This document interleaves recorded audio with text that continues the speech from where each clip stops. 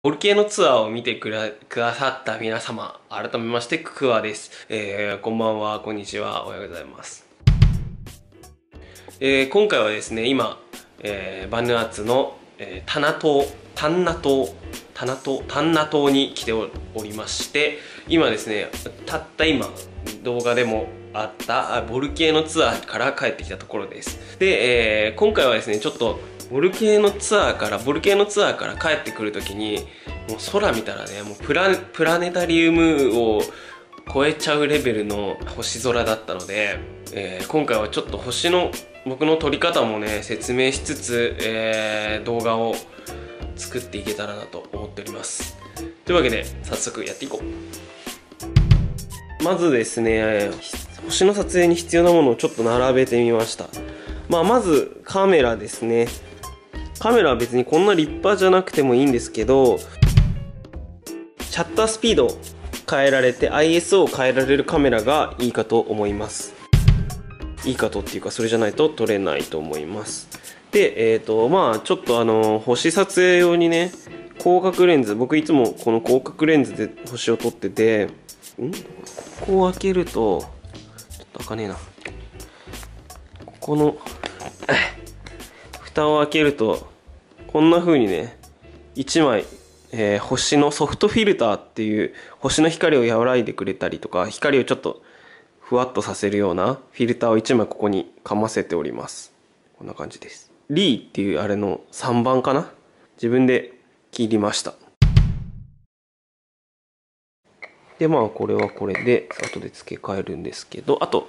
まあレリーズみたいな、まあ、シャッター速度っていうか勝手にシャッターをしてくれるやつ。まあこれも中国製のね2000円ぐらいの安いやつです、まあこんなのつけるつければね何でもいいんです。であと一番大事なのは三脚かなと。まあ三脚がないとねちょっとあのー固定とかも全然できないしブレちゃったらあの星は何秒かずっとこうやってねシャッターをね開けたままにしているので、まあ、三脚は絶対必須です。でいつも僕が使っているのがこのマンフロットの B フリー、まあ、トラベル用のねマンフロットの三脚で今後これしか買わねえぞってぐらい気に入っててっていうのもなんか持ち運び便利だしちょっと軽いから、まあ、固定どうなのとかわかんない。そういう意見もあるのかもしれないんですけど僕はもうめちゃくちゃこれが良くて世界中いろんなとこに持ってくんで本当に軽いっていうのはね便利というか嬉しい話です。よくここのあの雲台のなんていうんですかねカメラとの簡単な設置するやつをよくなくします。結構1000円ぐらいするんでねあんまりなくしたくないんですけどほんとよくなくします。なんで予備が家に何個かあります。でですね一応カメラの設定なんですけどまあちょっとそのその場その場で変えていくんですがまず基本ピントは僕この無限みたいなやつで撮ってます。まあ人がいる時とかは人にしなんていうの？人人と星を一緒に撮る時とかはちょっとまあマニュアルにしていじったりはしてますけど。F 値は一番低いやつ。これだって1.8かな？あ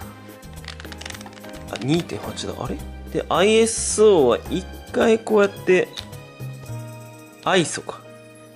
一旦ね一番最初1600ぐらいで調整します。でシャッタースピードは一旦ね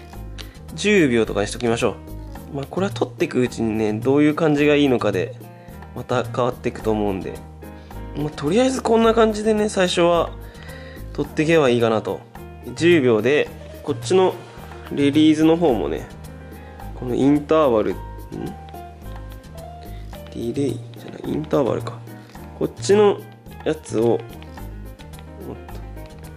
12秒とかにしといて。12秒ごとにシャッターを1回押すっていう設定にしておきます。でまあ特にこれはこれだけかな。でこれでここのタイマースタートストップっていうとこを押すと始まって終わったりします。もう1個だけ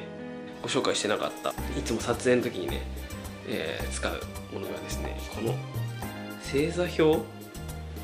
スターチャートって書いてあるやつですね。あとまああの星の満月とか新月とか分かる？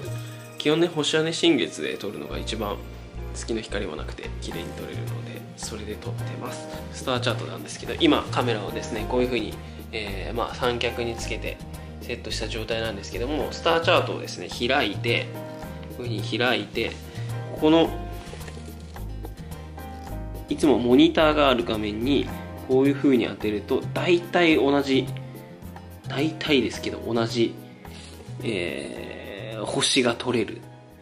のでこういう風に角度を調整してねやってみると自分が狙った星の写真が撮れるんじゃないかなと思います。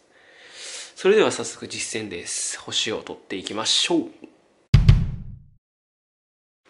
はいというわけでですね星の撮影を今終えてきました。